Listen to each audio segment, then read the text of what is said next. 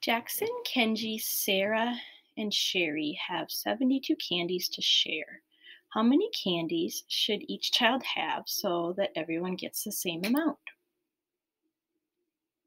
What operation can we use? What's happening? Jackson, Kenji, Sarah, and Sherry are children that are sharing. Everyone gets the same amount. Everyone should have the same number of candies after they're shared, and there are 72 candies to share.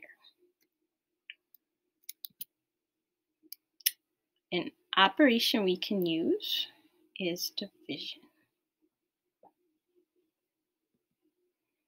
Here are 72 candies.